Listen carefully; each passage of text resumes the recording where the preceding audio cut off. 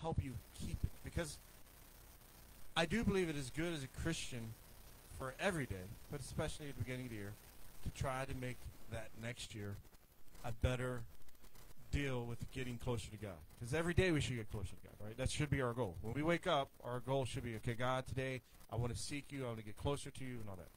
But we're going to talk it in the in the year uh, aspect.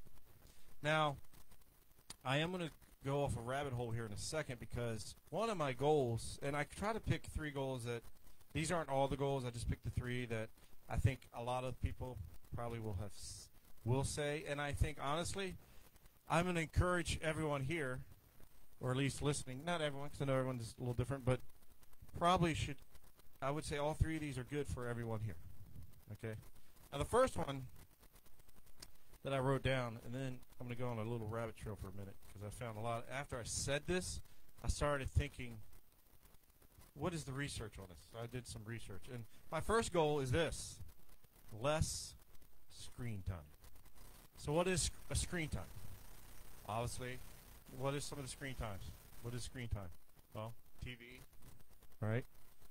Cell phone, iPhone, uh, iPad, maybe it's computer at work, laptop. There's a lot of different things nowadays that consider screen time. Now, when we were kids, it was pretty much TV. That was it. That was your screen time. Maybe go to the movies, yes, the big screen. And I think it's funny. One of the things that I was thinking about when I was thinking about that is, I don't think it's a coincidence that more and more kids I see wear glasses.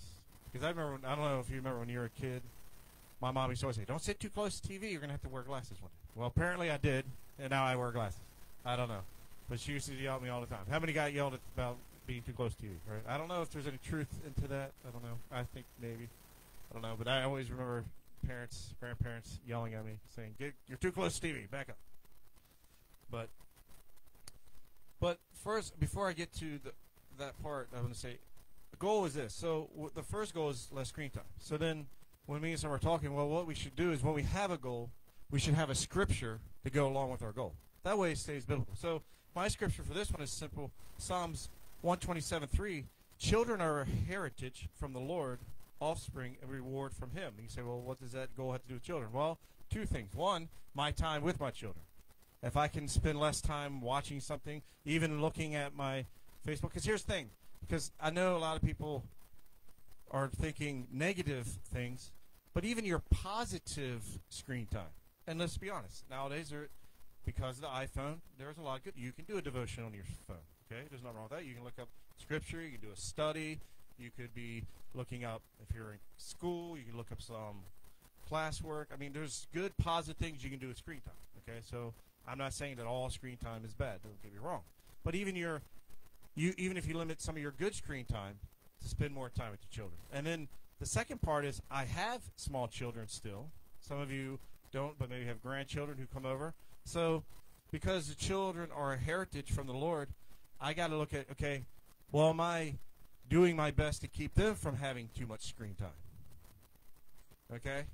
So it's a two part. And then as they get older, then the question is what are they what is on their screen time? Now, in our house there's a rule, there's certain they usually have to be in anywhere where we can look at their screen anytime. Now they're still young, but we already set that rule now. So when they get to be 16, 17, they already know the rule. I better be able to walk in and see what's on your screen at any time at all times. Because I want to know what's on their screen. Because just like I said, there's a lot of positive. We also know there's a lot of negative. As a matter of fact, unfortunately, one of the things I've researched was when you look at the top 10 websites, probably about half of them are pornography that are looked at on cell phones and all that kind of stuff. So I need to know what are they looking at. Okay. But so then the next step is okay, so I wrote the goal. I got a verse that gives me inspiration to do this goal. Okay, there's a biblical reason to do this because screen time, because and I'll get into it. Probably the number one thing that takes your in today's society, other than actually being at work, the second thing that probably takes your time away from your kids nowadays is screen time because you're on your phone, you're looking at Facebook. Like I said, first thing I do you know, after prayers is I look at my phone. Why? Because I'm looking not for negative reasons. Because I'm looking for messages. Right? You're looking at your messages. Did anyone call? Did someone text me? I look at Facebook. I look and see who I'm the type person. I look at all the birthdays. If your birthday pops up on Facebook, you're getting a happy birthday from me. Why? Because that's a way to communicate to all the people that I don't talk to. So at least once a year, you're going to get a message from me. Happy birthday. Okay? But that's what I do. But most people are like that nowadays. One of the first things you do, you're going to listen. to See, did anyone text me through the night? Is there anything? Okay. But after I do that, then the second thing is okay. Now I have to write some steps. How am I going to do that? Because, like I said, it's not just enough to say I'm going to limit screen time. How am I going to do it? And Summer's watching, so Summer, I did my homework. Here we go. Number one, have certain times when screens are not allowed to be on. So what we're going to do is me and Summer will get together, and we'll figure out and say, hey guys, from a from one to two or whatever time it is, we're going to say no one's allowed to watch screens. And that includes me and Summer. Not just them, nobody. Step two, have certain days or yeah, days where we can play games or read. We do read to our kids, but I mean like increase the reading. So there's something else to do. Meaning to get especially like if you're gonna get your kids, especially if kids who play games a lot, well, something you gotta have an alternative for them, you know. So that is step. So why did I share that with you? I know you're like, well, Joe, that's your goal. It's just to show you that I have steps. So if you're going to make a goal, my my suggestion to you is, like I said, have a scripture to back your goal up. That way, you have a biblically reason for what you're doing. Because as Christians, everything we do should be biblical.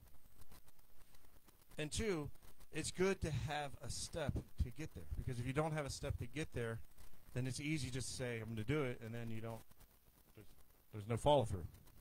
Because then you can go back to what you wrote and say, okay, well, this is what we said we're going to do. Did we do it? Now, this is where I want to get off just for a second, because I want to talk about screen time. Because it just got me thinking, I was like, man, I wonder what's going on. So, I did some research. So, let me just say this, okay? Now, let's just say, suppose I watch and talk about myself, okay, or you or whoever. But let's just let's just suppose I watch two hours of TV, which is not unreasonable if you think you watch news, then you watch just one movie or just two shows. Before you know it, that's two hours. Okay, so if you watch one movie of TV, that's two hours. Most movies are right nowadays about two hours. Okay, and then I spend three hours on the phone.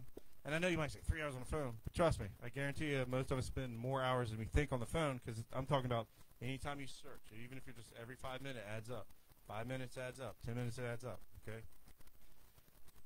Two hours on a computer or laptop, whether at work or whatever, and then 30 minutes or so playing a video game. That adds up to be seven and a half hours a day. Okay. That's 52 hours in a week, which is basically two days of my week is on the screen time. That would be 104 days a year. Okay? And 50 years, because if you do the average of average adult spends 60 years of life, because once you hit adult, you usually live to be 70 or whatever. That would be 14.2 years watching a screen. I know right now you are looking bad at me, but I guarantee if you really check yourself, and I'm talking about at work too, see, because we're talking about all day. A lot of you, yes, you have to watch a screen at work, but you're still sitting in front of a screen how many hours? That's what we're talking about. Because not all this is leisure, by the way. This is work related. This is texting. Because, like with me, with the youth, I have to be on. The only way I can communicate with them is on Facebook. And sometimes I'm on with certain ones. I could be two hours one night just talking to them, calming them down, or whatever. Okay. So again, I'm not talking about all negative things. I'm just talking about in general. All right. That sounds like a lot, right? It does. But let me give you some research. This is Market Watch 2016. Their survey in 2016 is this The average American spends 11 hours a day watching, reading, listening, or simply interacting with, with media, screen time. So that's four hours more than what I said. 11, okay? So now I know a lot of people are like, well, that's not me, because when you think screen time, I know a lot of you are thinking, well, I know that's the kid sitting down. Well, let's do some more research. This is eMarketer. In night, this is 2019. The average U.S. adult will spend two hours and 55 minutes on a smartphone. Three hours, basically. The average adult. Okay? Yes, I know. So for some, yeah. Three hours just on a smartphone. Okay? And that's the that's adults, not kids. Let me verify that. And then let's talk about TV. Okay? Because a lot of people were thinking, oh, it, well, let me go. I haven't got the TV yet. Hold on. And then here's another thing, too. In 2017, this is Inc.com. According to the latest research, on average, a child gets his or her first smartphone at age 10. Some same study found that 50% of children 12 already have social media accounts like Facebook. Now, Drew right now is mad because I told him he can't have a phone yet. And he's like, 10? You're right. Because, and I know not everyone here is fond of him, but Bill Gates says, in his opinion, and I'm talking to someone who I went with him because he's a tech person, he did not give his children a phone till they're 14. Any of his children. And most researchers that actually are in the tech industry agree with him. So most of your tech people say don't give a kid a smartphone till they're 14, but yet most people do it at age 10. So Drew, you're still waiting till you're 14, like I said. And it's kind of funny because that's pretty much what I told Drew before I even read this. I think maybe when you're 14. All right. Now let's talk about TV. Because again, when we think TV, I know most of you are thinking TV, yeah, those kids watching cartoons. Well, here we go. Whoop. 59% of this age group watch live TV. What do you think that age group is? 59% of the people who watch live TV, what do you think that age group is? 55 and older. So almost 60% of people who are watching live TV. Now, let me tell you the difference because I know when we say TV, it means lots of things nowadays. Live TV is meaning you're watching the show live, meaning not not that it's happening live, but like when eight o'clock show comes on, you're wa- you're sitting down at eight o'clock and you're watching it. Of course, now you now if you add in DVR or or like Hulu and all these where you can watch shows when you want, what do you think the average age then is? 40. So it's still, most people who watch TV are 40 and over. Any kind of TV. So it's not just the kids, and it's not the kids watching TV. It's 40 and over, okay? And the average, like I said, to the one, well, I'll get to that in a second, what the average amount of people watch TV, okay? I just wanted to. Now, uh, I know, now we're going to go a little younger. Now we're getting to the kids. Now, the other part of screen time is gaming. Does anyone know what gaming is? Okay? Video games, right? What do y'all think the average age of a gamer is? 35. 35 is the average age of a gamer. 35. Millennials, late, and then probably some Generation Xers, because who came out with my generation grew up with Atari, and then boom, here came Nintendo. Okay? Well, guess what? The average gamer had been playing for 13 straight years. So my generation and the generation after me, the millennials, have not given up playing video games because that was part of what we did, so they continue to play. Matter of fact, only 29% of the gamer population is under 18. That comes from GameSparks and Wikipedia articles. I know all of you were thinking as soon as I said gaming, like you all said, teenagers. Maybe maybe some of you who know a little bit about gaming thought maybe 20 something. Now I already knew that, and you, Drew can verify that because when we were playing games, I told him, "Hey, you know what the average age for video games?" By the way, you know comic books is about the same age too. It's like late 20s. Yep. Just so you know. So there's a stereotype that the only people who play video games are adolescent boys. That's what most people think. Now, here we go. Here's a little bit more about gaming. This is also from Game Speaks, or Sparks. It was an article. Here's one I think you're also going to find surprising. More than 50% of gaming audience are women. More than 50%. Now there is a dispute here because now we have to determine what are we talking about. Because real gamers will only think of Xbox and all that, okay? But we're talking about gaming. So we're talking when we talk about gaming now, we're also talking about mobile gaming. And that's where women really start picking up. We're talking about and I know all of you heard this game, or most of you had Candy Crush, Bejeweled, all these games that came out. Matter of fact, in 2016, mobile gaming made $36.9 billion. That is higher than both PC, which is computer games, and console games, which is Nintendo, PlayStation, all that. And I what you're like, Joe. Why are you telling me this? Well, just I don't think we really think about how much the person that we think are playing is really not them. And a lot of times when we start hearing these things, like, oh wait a minute, I play games because there's Summer likes to play those word games. You know, there's that nice word game, and then you play someone else, and then they come back and play. You. I don't know if you know. There's games that you can play that where you do a word, and then later on they come back, and you're playing back and forth. It could take a day to play one game because you know it might be an hour later before you check it again. The point is, our expectations are a lot different. And then going back to what I said, they also did a of Pew survey found this: 42% of women owned either Xbox or PlayStation, PlayStation, compared to 30%, 37% of men. 42% of women owned either Xbox or PlayStation compared to 37% of men. Now, there is a, this, there is a quotation here. When they asked the question, they didn't ask if you were the only person in the house.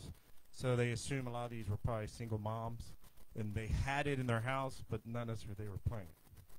But still, more women own it than men when they call it. Now, let me be honest. Let, us be honest. How many are surprised by most of the stats I already gave you? I wasn't when I found it. I'll be honest. Except for the 35, because I knew that one.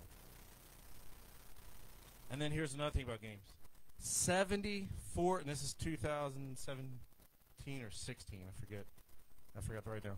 74% of K-8 teachers use digital games for educational purposes. So 74% of your kids are also doing gaming at school.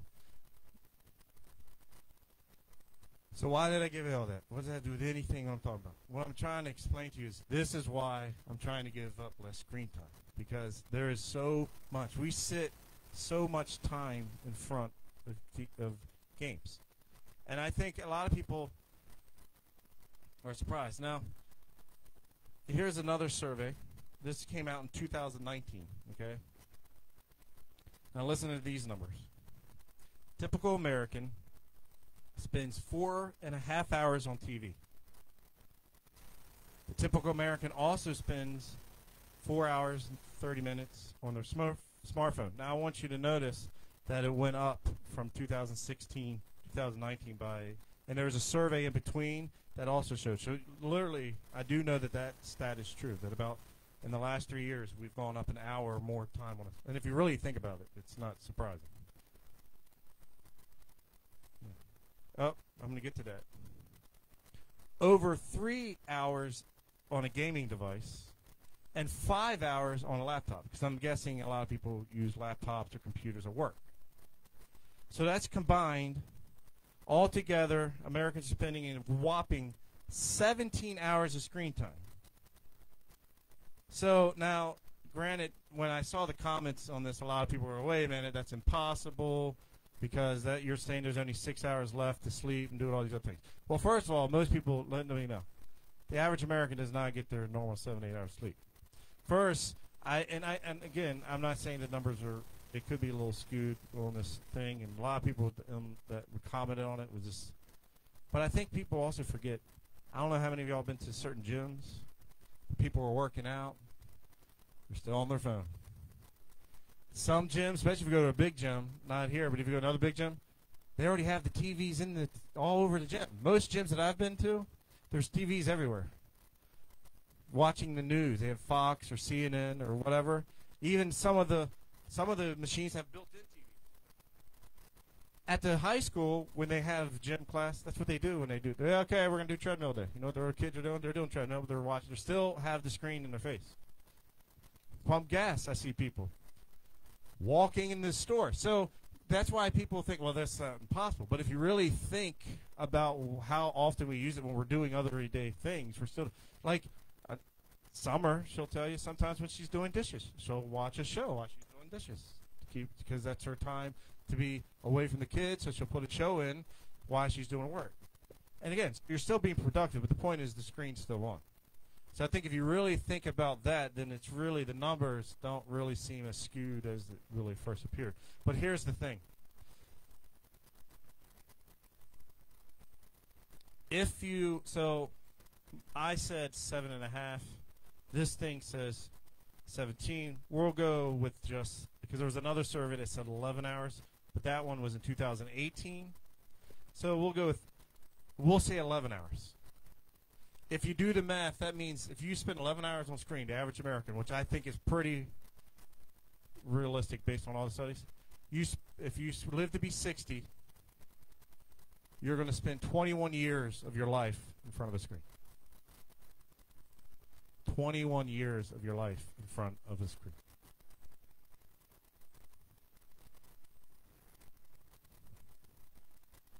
Now you can see why. I want to lessen my screen because when I think about it, it's like wow. And then that goes along with one of mine that I'm talking about later. No wonder we are getting un more and more unhealthy in this country because we're spending a lot of time just sitting, watching something or looking at something. And here's the thing, and this is what Paula said a second, a second ago. And in that study, that study came out on December 26th. It was under the Drudge Report the one about the 20, the 44. Because what they did on their seven, now in that study, if you did the 17 hours, it's 44 years of your life. It would be 44 years of your life if it's 17 hours a day, if that study is true. But this is what they said. This study was done in 2019, the research. So you can't even fathom what it's in 2020.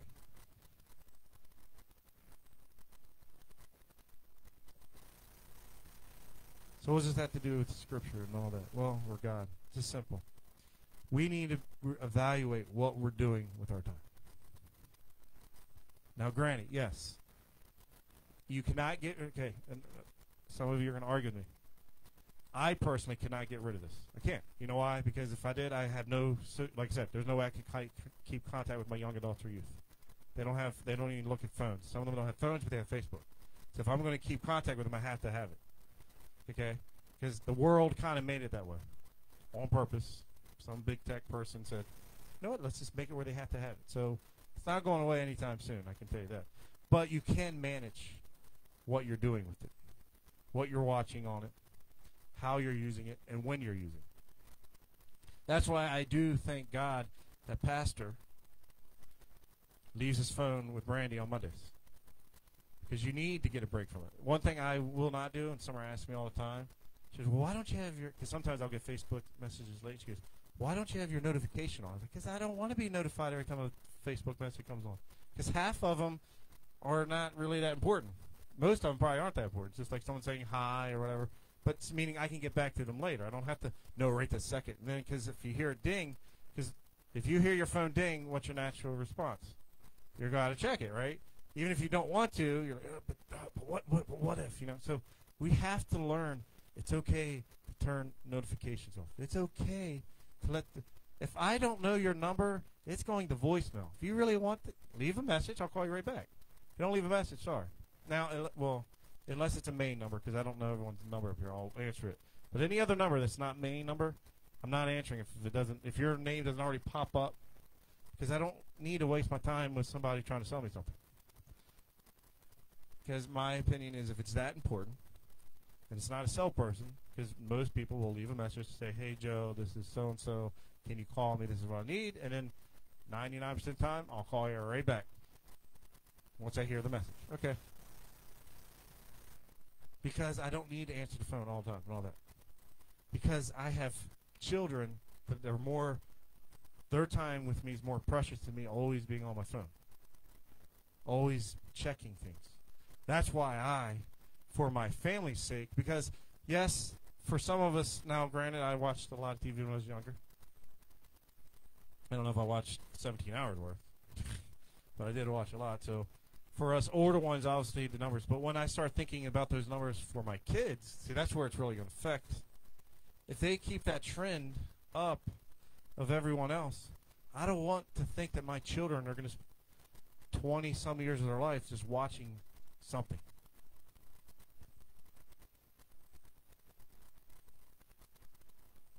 So I'm going to make an effort. They're probably not happy hearing this, but I'm going to make an effort to really cut back the hours they're watching screen time. Because there's a lot more things they can do valuable with their time, spiritually, ministerially, in a lot of different ways in front of a screen. And that's why I chose it. And the only reason I went off on that is because I think it's shocking when you really look at the numbers of how much time we're spending. And again, I know a lot of you are probably, well, that ain't me. And there's some of you, and, uh, because of the generations, for some of you, it's not you. But some of you, I bet you, you spend more time on the phone than you really think.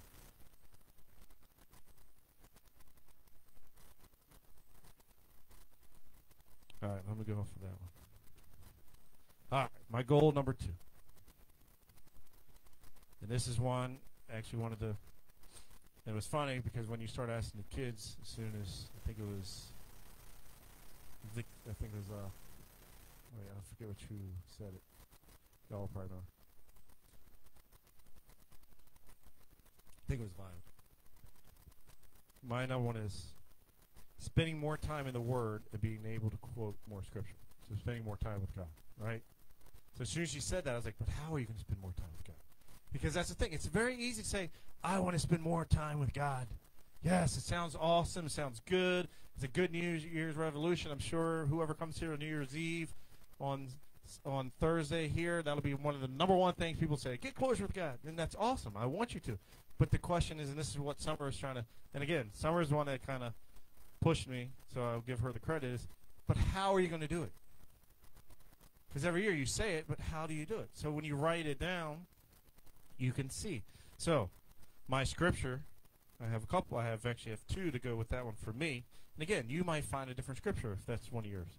But mine was this: all because I said because remember I'm not saying spend more time with God necessarily. Well, I'm saying the Word, which is with God, but I'm talking specifically more time in His Word.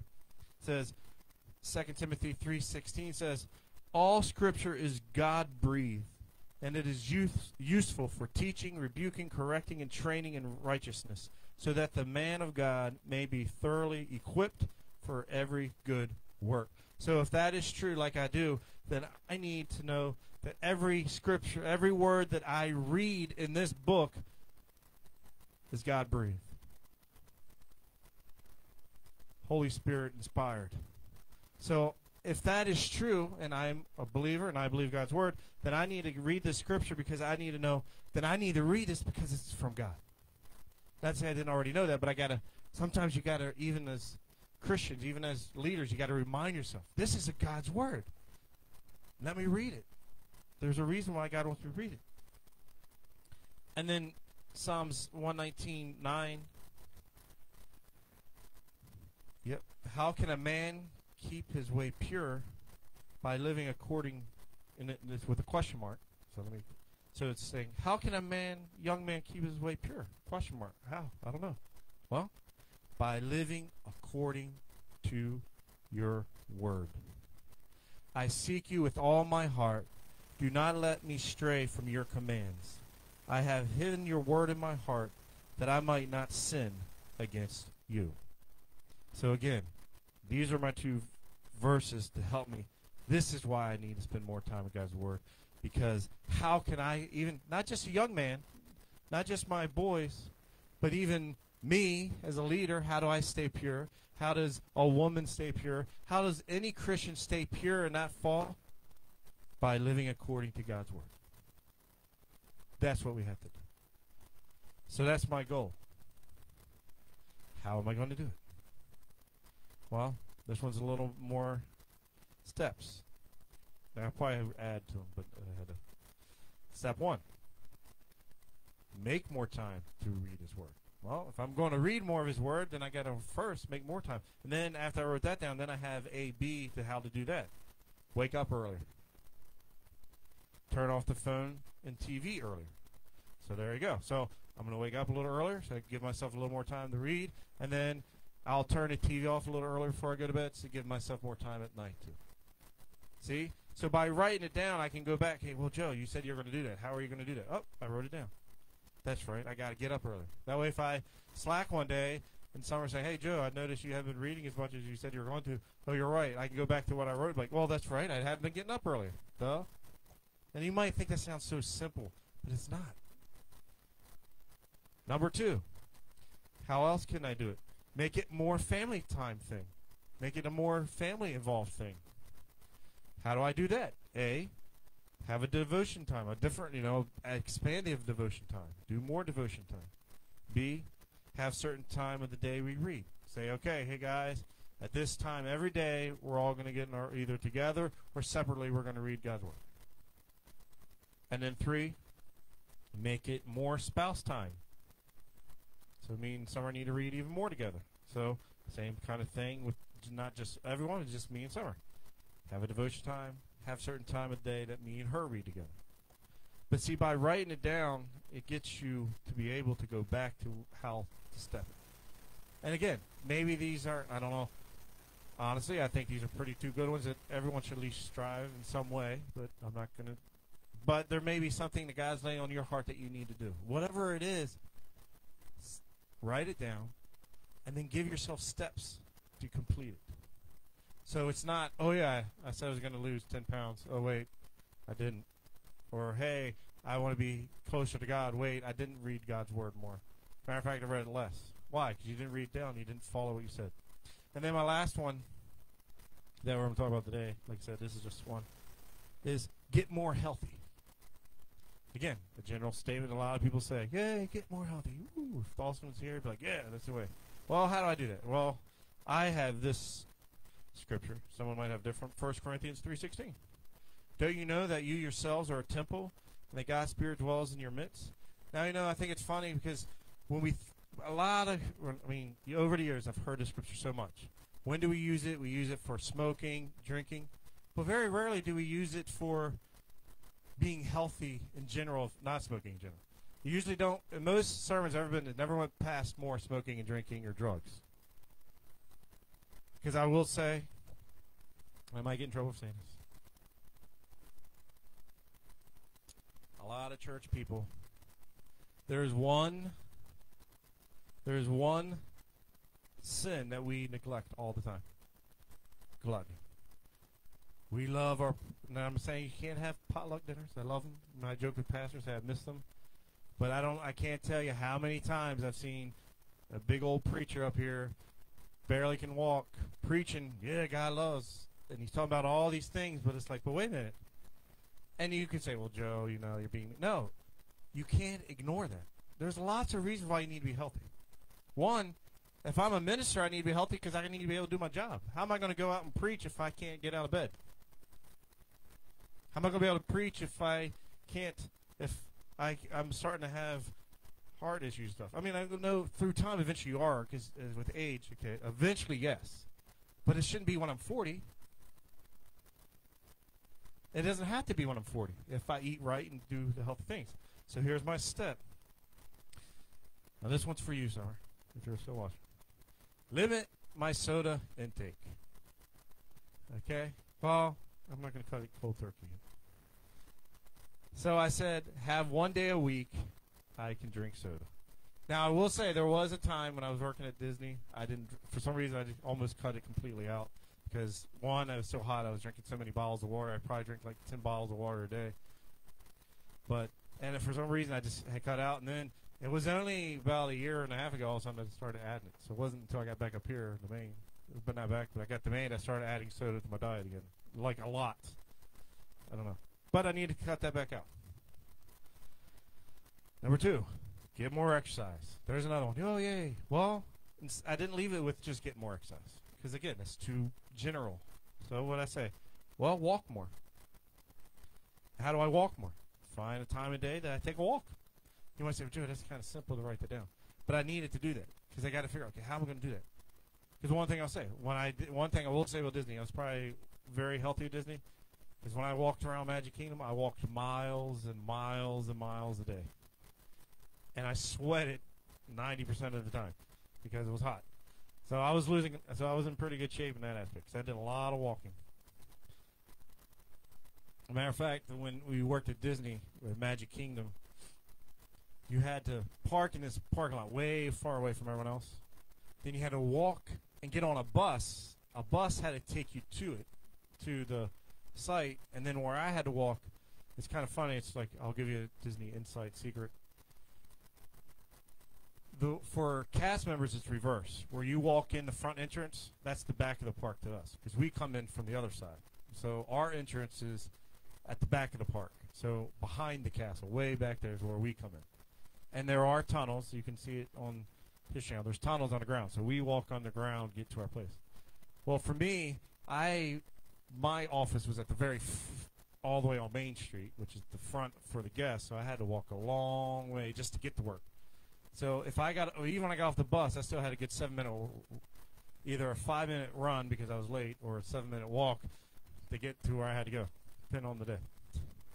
Well, because one thing about Disney is they have a clock and it's union wise, and even if you're third, you have one minute. But if you go 101, you're late and they don't. It's hard for them. Unfortunately, I think that we've had a lot of accidents at Disney because workers were late, and unfortunately, some fatalities. And usually, it's because of a cast member gets hit by a bus because they're flying, because they're trying to get to work. Usually, because it's very if they're very strict on the clock. But that's different. But the point is, walking. I gotta walk. I gotta get out and walk. All right. Good thing is Dawson's not here to hear that one but I wrote it down. To lift more, go to the gym once or twice a week, and then do push ups or sit ups when I'm at home. I'm glad he's not here because he'd be saying, come on, come on, which I need. And then number three, simple, eat more fruits and veggies. Know, eat more. And I will say, eating wise, I actually do, I eat probably eat more vegetables and fruit than the average person. Not as much as my wife, but the average person. And that's the thing. And that was just my last one that I'm going to share. But but as I do this, because you know, summer challenged me, so I'm going to do more. Summer said I needed ten, so seven more. But I'm also going to do some challenges, like for me personally. I'm going to do some challenges that I'm going to write down for ministry. How do I get these? Because like Summer, and again, I'll give Summer credit. She she pushed me. She goes, okay, because I said, okay, I want to add worship, which I did. We started adding more, a little bit of worship. But she goes, but Joe, you need to write down. How you're you going to infiltrate the worship into the youth group? How are you going to get them involved? Write it down. Figure out how it's going to work. So maybe you're not in ministry. Well, you're all in ministry in sense, but maybe at work. How am I going to be more productive at work? How am I going to be more this at work? How am I going to be more that at school?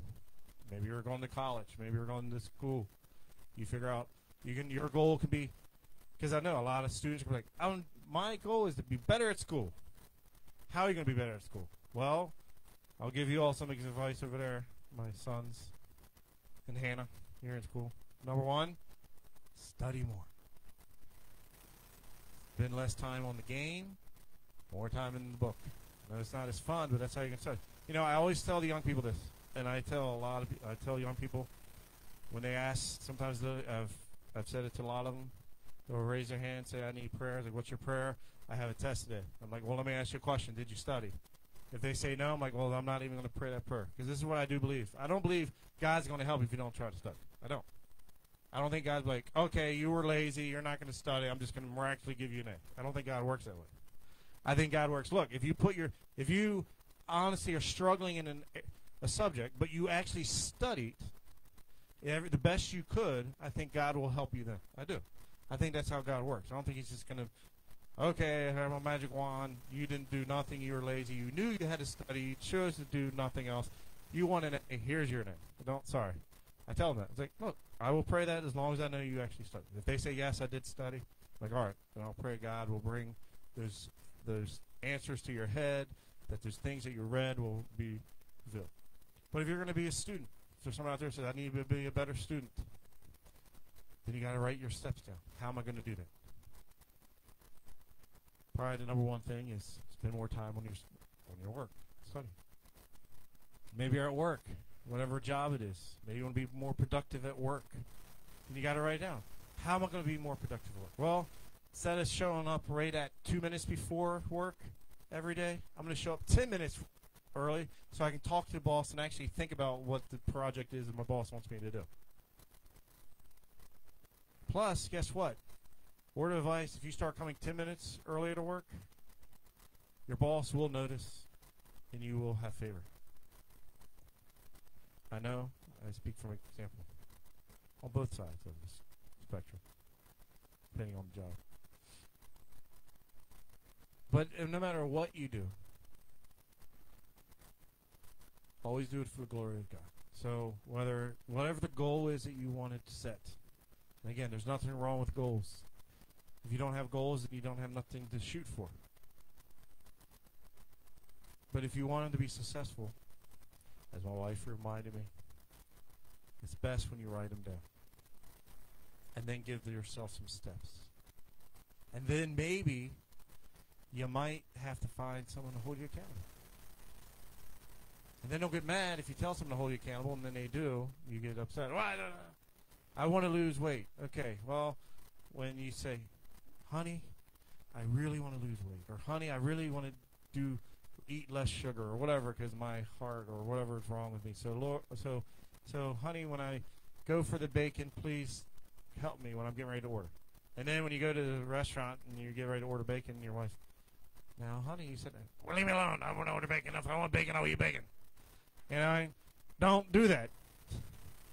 Okay? If you really want the goal, don't set yourself up to get, be a bad spouse or something. Or the other way around, you tell your spouse, you know, now I really don't, I, I got to give up, you know, sweets. And then you go for sweets and you're, they tap you on the hands like, don't hit me, that's my, you know. You can't do that. Because, trust me, people do that all the time. Pastor will speak. I know because pastors had people in his office. They've told him, please hold me accountable. He holds them accountable. Next thing you know, they yell at him. Like, well, you you told me to hold you accountable. And been more than at least five times since I've been here, he's had that happen from five different people.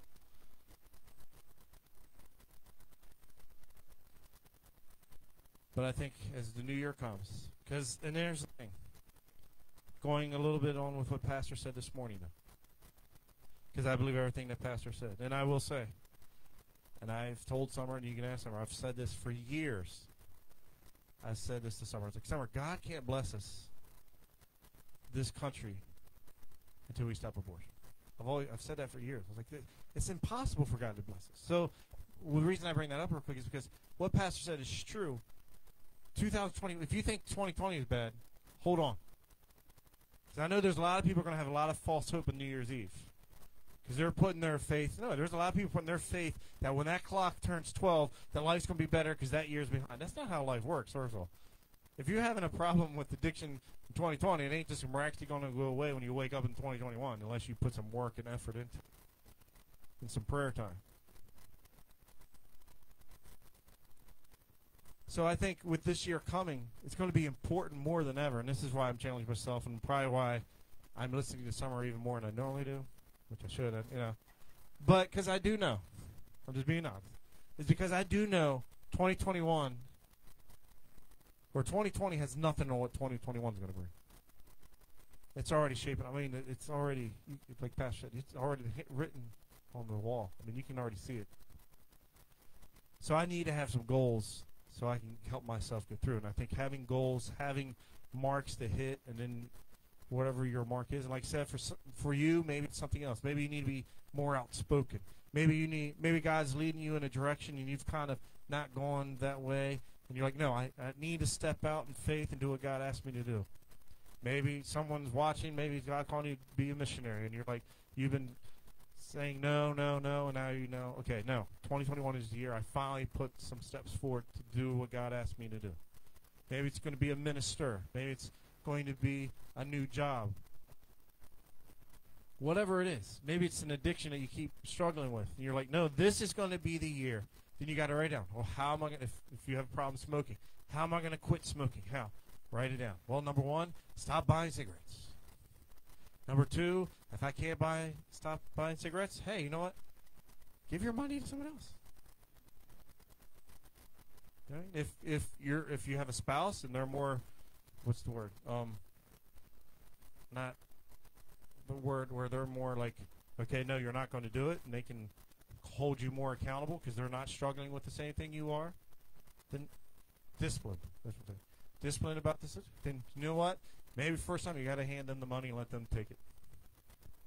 Whatever it is. You make 2021 the year that you don't just make some great proclamation just because everyone else is doing it or I'm at church and pastor put me on the spot so uh, I don't know be healthy and you just randomly throw something out there.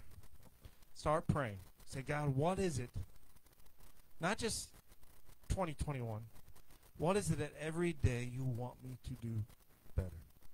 How do you want me to get because some of those things like healthy, that's still an honoring God because if like I said, if you're healthy, then you can do more work for God. You can go longer. Whatever it is, make 2021 the year that you finally keep your goals and progress.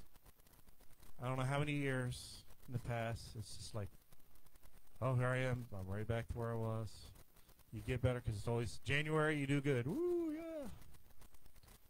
And then by Easter, it's completely gone. Usually, probably by February, whatever you were working on is done.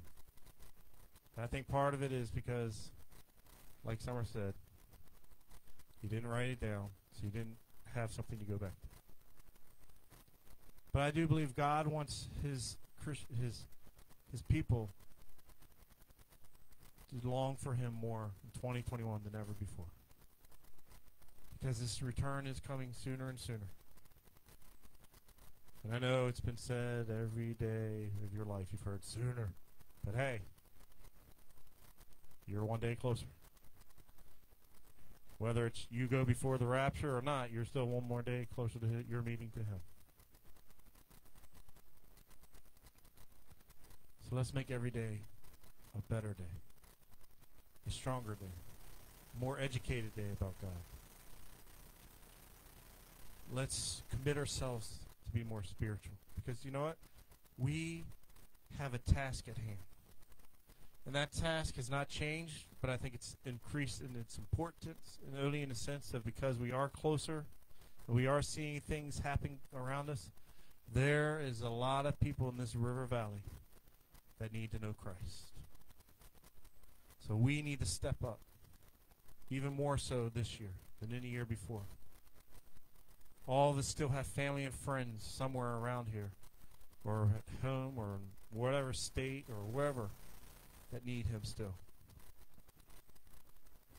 So we need to do better so we can be a better witness too.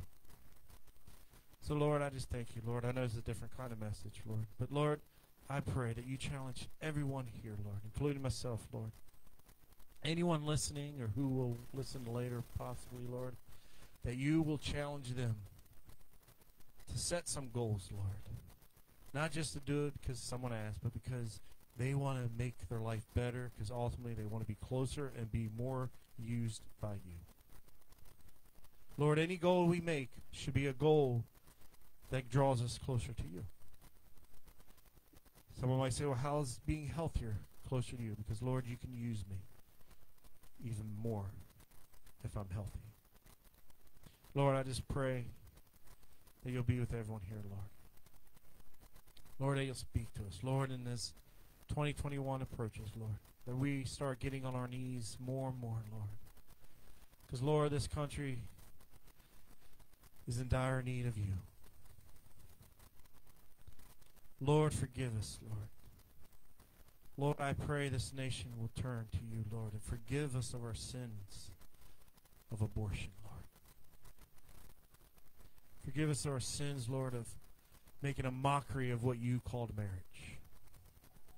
And I'm not just talking about guy and girl, Lord. I'm talking about even in the church where almost 65% of people in the church are married or remarried and remarried and remarried, Lord. We've made a mockery out of what you established, Lord. And Lord, there is forgiveness. I'm not saying, Lord, that if someone's done that, that they can't be forgiven and made right. That's not what I'm saying. But Lord, in the church, I mean, in some churches, Lord, they don't even they even let people be members who aren't even married and they're living together, Lord. Lord, even the church has lowered our standards, Lord, to the world's level. When really we should be trying to get the world standards to your level, Lord. Not the other way around, Lord. Lord, let us reach for higher things and bigger things in 2021, Lord. Lord, and I believe you're going to do it. Why? Because I do believe that there's a lot of faithful people in this church, Lord. Starting with our pastor, Lord, who wants to see your will be done in 2021, Lord. Lord, I believe there's a hunger in this congregation, Lord, to see people in the River Valley saved and come to know you, Lord. Lord, I believe there's a hunger in this church to see people broken of their addictions, Lord. Lord, it's so awesome that there's so many testimonies already in this church already, Lord. But Lord, I want to see, Lord, I want to see triple that, Lord. Quadruple that, Lord. Lord, I pray that there will be healing in this church, Lord. Lord, I pray for my wife, Lord. I pray for her back, Lord. Lord, I know you can heal her, Lord, and I know that your will to see her, Lord, not struggle, Lord. Lord, I believe in a healing touch, Lord, in 2021. Hallelujah, Lord. Lord, I believe this is going to be a year where people aren't going to be able to, to retain themselves, Lord. They're going to be so excited to express what God is doing in their lives, Lord. I believe strongholds are going to be taken down, Lord. I believe there's going to be healing in families, Lord. There's going to be people reunited with brothers and sisters and even fathers, Lord. Lord, we live in a community where there's so much fatherlessness, Lord. But Lord, I believe that you're a God who can change hearts, Lord. I believe, Lord, that there are fathers who are sitting in jails, Lord, and just sitting home not with their children. Lord, I pray, Lord, that this is a year where you just start stirring hearts, Lord, and families are reunited, Lord. Where children are reunited with their fathers, Lord, but not just some father, but a father who's changed and who's in love with you.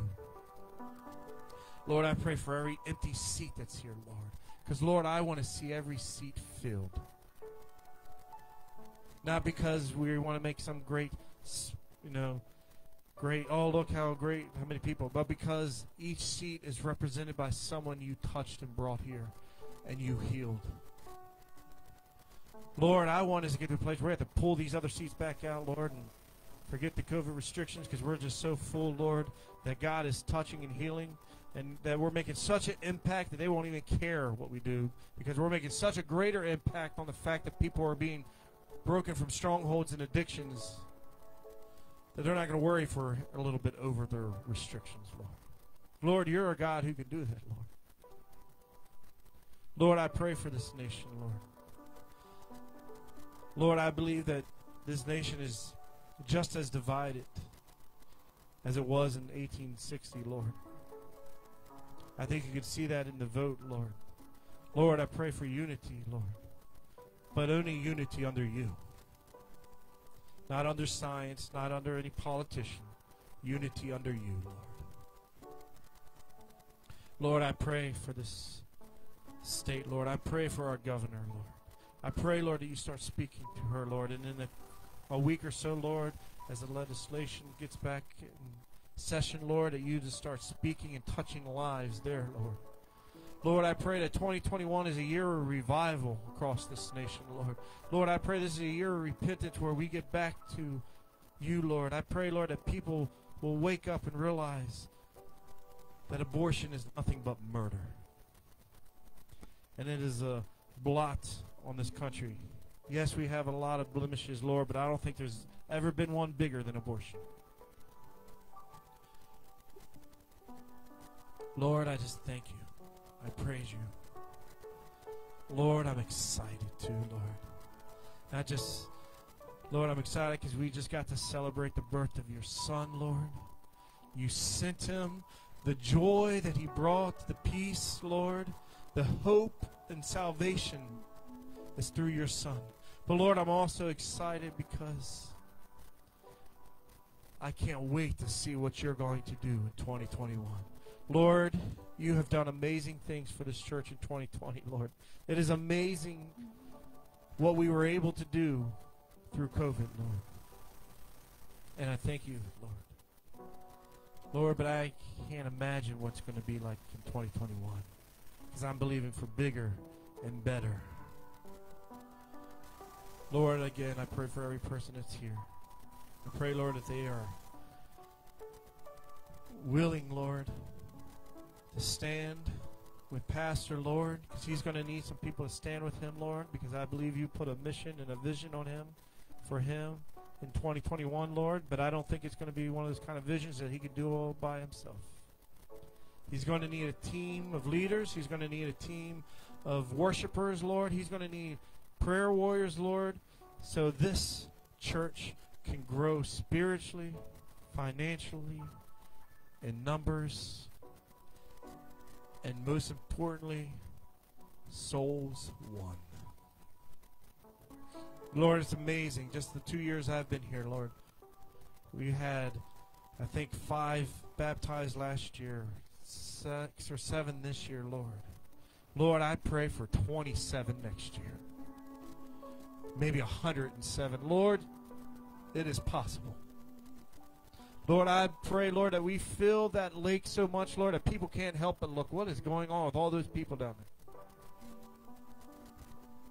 Hallelujah. Lord, I pray that that baptism, Lord, is so full with your spirit, Lord, that people can't contain themselves on the shoreline, Lord.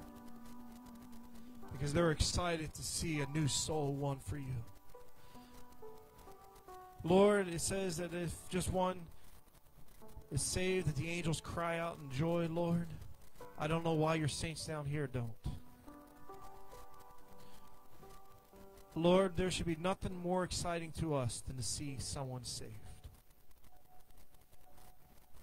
Someone grasped from the pits of hell to eternal life with you. As a Christian, that should be our ultimate goal. And that should bring us the most ultimate excitement. Lord, I love you. I praise you. And Lord, as we close, Lord, I just pray. If there's anyone, Lord, watching, or anyone here who doesn't know you, Lord, and they want their 2021 resolution to be to know you for the first time. Lord, I pray if there's someone watching, maybe they'll watch a week later. Lord, that they will reach out and say, I want to know Christ the King.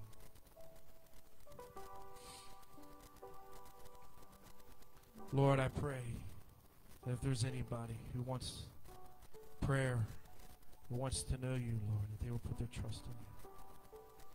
Lord, I pray if there's anyone here, Lord, who struggled through 2020 because of COVID, Lord. Lord, they struggle with some kind of addiction. Lord, they fell back into something, Lord, that they used to do, Lord, or maybe they're still doing it, Lord. If there's someone here or someone watching, Lord, that 2020 was a bad year and they forgot to put you first in a lot of ways, Lord, that they repent now and move forward to 2021.